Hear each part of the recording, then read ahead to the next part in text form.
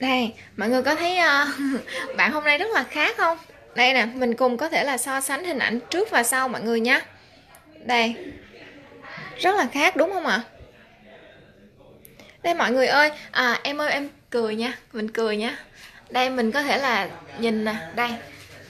Em sẽ quay tất cả mọi góc độ cho mọi người cùng so sánh luôn.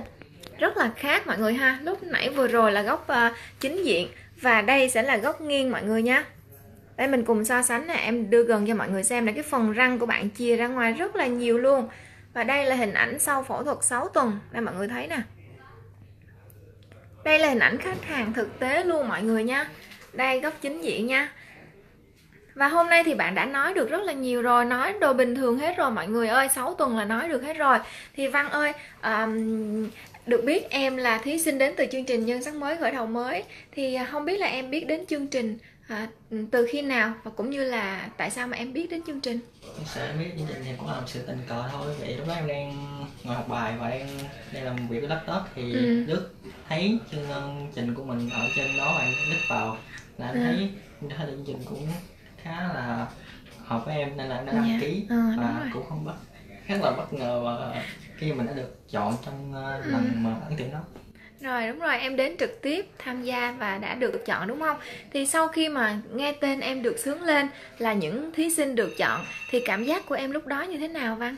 Lúc đó em cảm giác như mình ở đâu em không thì không có thể là gọi là biết được thật sự mình đã đậu. Ừ.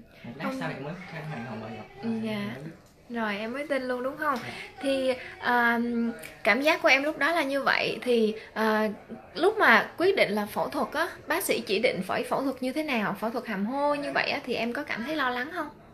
Dạ nói thì cũng hơi lo nhưng mà do có một người chị đã từng mất đây rồi à. nên em rất tin vào bệnh viện mà tin vào bác sĩ ở đây. Rồi đúng rồi.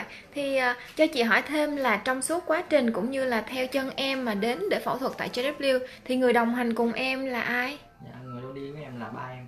Ba của em đúng không? Thì chị cũng đã có gặp ba của em trong những mà trong những lần tiếp xúc trước với em để mà livestream những cái uh, clip trước đó.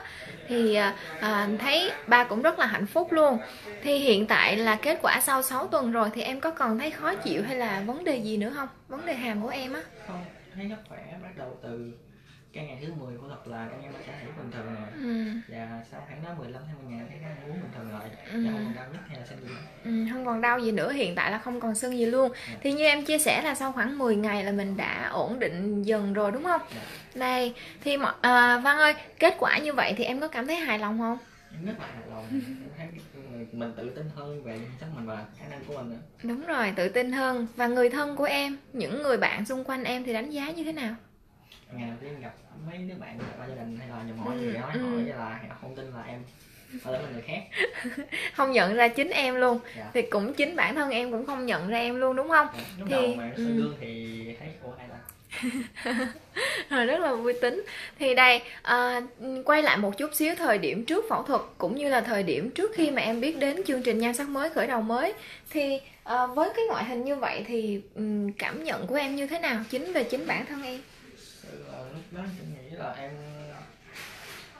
bắt đầu từ lúc mà mình biết nhận thức là mình đau cấp 2 thì thì cảm giác mình rất là tự ti. Mình không có trong lớp 35 người chỉ có một mình mình khác với cái cảnh hậu về ngoại hình. Nên là nó khá là buồn. Và đến thì hiện tại ờ, trước khi mình biết tới chương trình và trước khi phẫu thuật thì em vẫn còn là sự tự tự ti như thế Ừ, dạ à, đúng rồi thì à, những người xung quanh thì có đánh giá em như thế nào không trước lúc mà em phẫu thuật trước khi mà em có một cái diện mạo mới á họ hàng bạn bè những giảng viên thì nó nói là em có đầy đủ khả năng tự học học tốt ừ. nè khả năng tư ừ. duy sẽ là đủ nhưng mà em bị thiếu hai thứ đó là sự tự tin với ngoại hình đúng rồi thì chính về cái sự ngoại hình cái ngoại hình của em như vậy nó dẫn đến em là à, mất tự tin đúng không. Dạ. thì nó khiến em là tự ti hơn trong cuộc sống thì đây là mọi người ơi mình cùng sẽ cùng à, à, xem lại một lần nữa hình ảnh của bạn khách hàng ngày hôm nay à, đến từ thí sinh nhan sắc mới khởi đầu mới mọi người nha.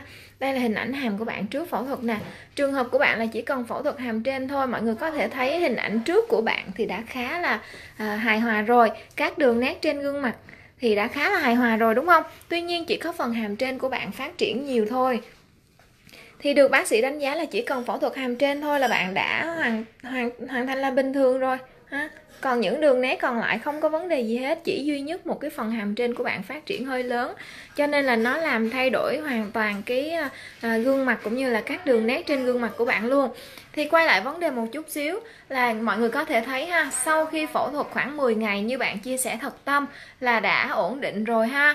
Và hôm nay là bạn quay lại để cắt chỉ kẽm có nghĩa là hai cái cái chỉ mà để mình cố định hàm bên ngoài đó mọi người là 6 tuần mình sẽ quay lại cắt chỉ kẽm mọi người nha. Thì như bạn mọi người có thể thấy bạn có thể là nói rất là lưu loát rồi cơ hàm rất là bình thường cũng như là ăn uống đã bình thường trở lại đây thì à, nhân đây á, thì em có chia sẻ gì đến cho chương trình cũng như là đến với đội ngũ bác sĩ đến từ JW không Văn?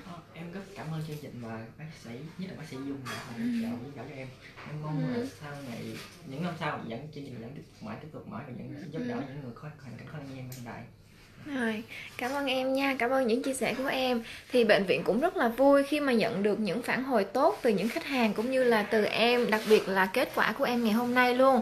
Thì à, bệnh viện cũng chúc em là luôn may mắn và thành công hơn trong cuộc sống và đặc biệt là quên đi cái sự cái ngoại hình của mình từ trước cũng như là mình sẽ tự tin hơn. Mình sẽ gọi là làm được nhiều việc hơn nhiều việc tốt hơn trong cuộc sống sau này văn nha. Rồi cảm ơn văn.